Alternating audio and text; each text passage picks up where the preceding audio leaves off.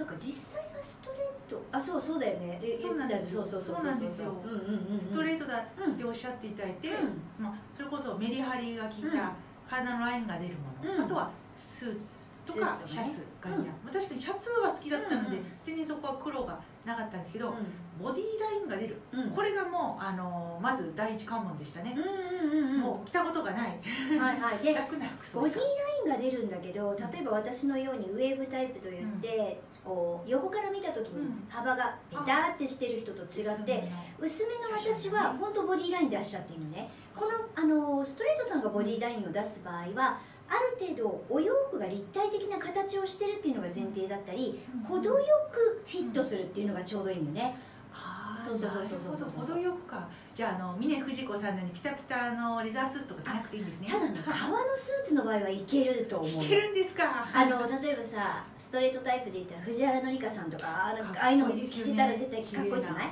そう確かに。見皮たいですよは厚みがあるしでうん。あの本革は艶もあったりするので私は結構フカキョンがさなんだっけあのドラマで着てたけどルパンの娘でね。すねあのじゃないけれどもやっぱりちょっと魅了する？こう人を魅了する時とかには時とかにはってあれだけどそれいいと思います。まあ確かにちょっとグッときちゃいますよね。あれよねだから普段普段着として着るとかっていうよりさなんかこう見せ物？変なね見せ物ここぞという時そうそうそう。なんかその後は、あの出し物とかじゃないけど なんかみんなを喜ばせる時のため。ハロウィンとか。そうそうそう。なそれが出てこなかったのよそういう言葉が。とんでもないそういうふうななんか時に着るとすごくいいよね。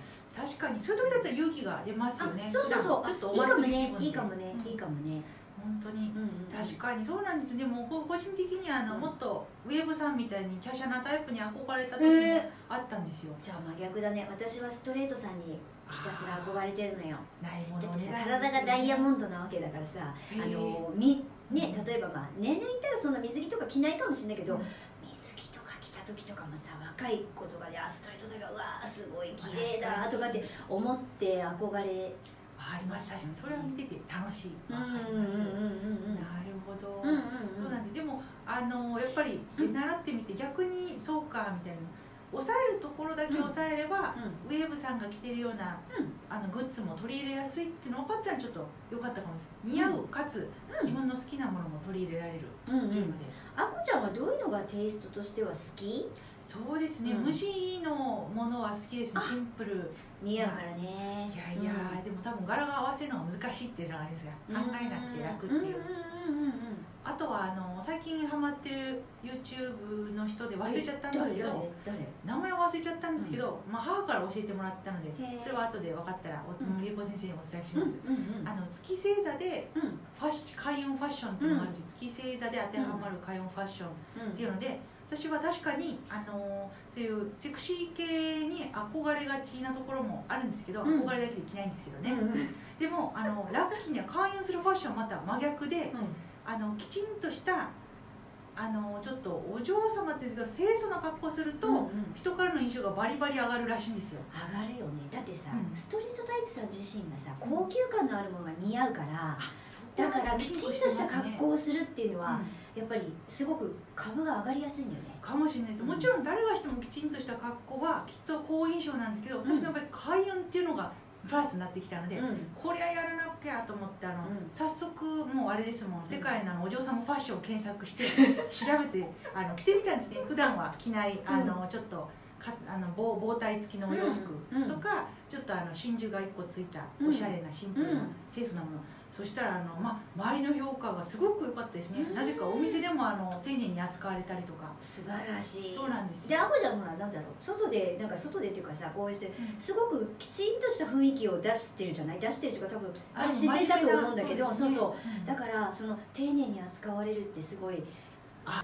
そっかそうだよね。もうあこちゃんといえばもう絵が上手だから。ささささってかかけちゃうんだよね。落書きですけれども。すごいよね。え絵の上手な人ってやっぱ早いんだね描くのがいえいえ多分似顔絵ばっかり描いてたから。似顔絵で人の顔覚えて覚えるタイプだからですよ。あーそっか。確かに。なのでそう絵もまあリンクしますね、うんうんうん例えばあの印象をどう印象付けたいとかっていう時に、そのパーソナルカラーとか、その後はあのその骨格うんも参考になりましたね、うん。キャラクターを考える時とか、確かにそうだよね。あのサリーちゃん足のなんか描いたりとかいろいろあるよね骨格もね。あります。全然もう色合いと形で変わります。うんそうなんきっと男の人のバスケ漫画のとかなんか結構ナチュラルタイプっぽいのを代表的に描くかもしれない。あそうです。ねねなんかそういう肩幅があるっていう方がかっこよくなんかねああいうスポーツ系とかって見えるかもしれないからそういうのなんかねそうだと思います。かもしれないね。そうですね、うん。なのであのいろんな知識を持つことによって物の見方も増えましたね。映画とかでも。素晴らしい。とんでもないです楽しみが広がりますね。じゃあ次またもうちょっとまた違う話題でちょっとあこちゃんとお送りしたいと思いますのでまた次回も楽しみに待っていてください。さよなら。またよろしくお願いします